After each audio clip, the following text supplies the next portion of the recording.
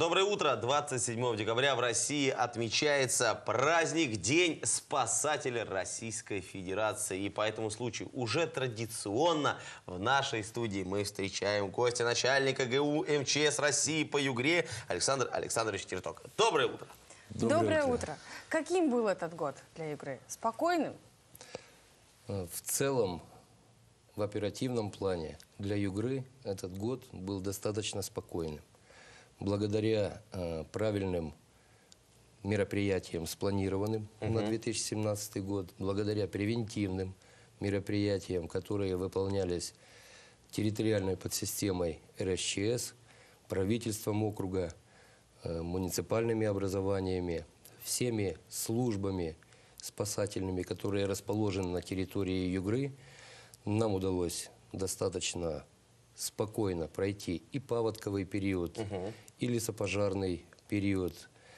И самое главное, чего совместными усилиями, усилиями удалось достичь, это снижение количества чрезвычайных ситуаций, пожаров, ну и самое главное, гибели людей при этих чрезвычайных ситуациях. Ну вот а, это способствует, и это случилось благодаря чему? А, МЧС по Югре с- м, прошло какое-то а, новое обучение, люди стали оперативнее, техника стала лучше. Вот что поспособствовало? Я бы так э, узконаправленно не стал говорить. Это заслуга всех служб. Всех служб. Энергетиков, ЖКХ, водоканала, э, территориальных гарнизонов, отделов надзорной деятельности, спасательных служб муниципальных образований.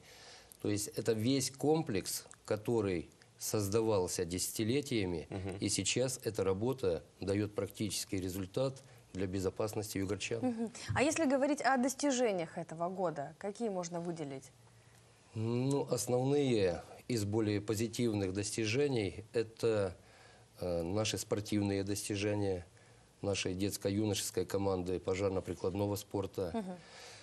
Традиционно на 30% сборная Российской Федерации состоит из спортсменов Югры, Да. которые показывают отличные результаты не только на всероссийских соревнованиях, но и на международных. Э, Югра воспитала четверых мастеров международного класса, которые и в этом году улучшили свои результаты. Если говорить только по э, территории нашего субъекта, удалось привлечь более 400 ч- человек, детей, к занятию пожарно-прикладным спортом, к обучению э, в дружинах юных пожарных, Это сегодня популярное да, направление? да, это к вопросу не о популярности, а к вопросу о комплексном подходе безопасности.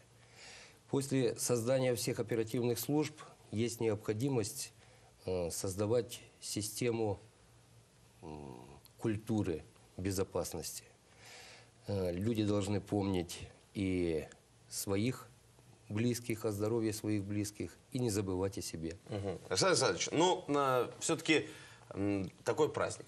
День э, спасателя. Э, Все эти камеры, и уже, как я вначале говорил, э, ваш приход к нам в гости, он традиционен. Вот, пожалуйста, все эти камеры специально для вас. Э, Как будете отмечать? Ну и, конечно же, поздравляйте. Отмечать будем подведением промежуточных итогов и вручать заслуженные награды, звания, планировать дальнейшую служебную деятельность и, самое главное, будем благодарить друг друга, в том числе и жителей Югры, за ту огромную работу, которую мы провели совместно на территории.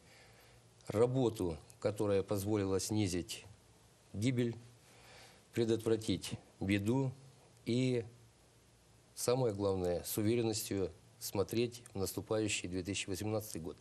Ну что ж, спасибо огромное. Спасибо вам большое. В вашем лице мы поздравляем всех, конечно, э, тех людей, кто стоит на страже и чрезвычайных ситуаций, но вообще, кто помогает нам в трудных жизненных ситуациях. Спасибо вам огромное еще раз с праздником. Э, Поздравляем мы вас. Спасибо огромное, что пришли. Ждем в следующем году.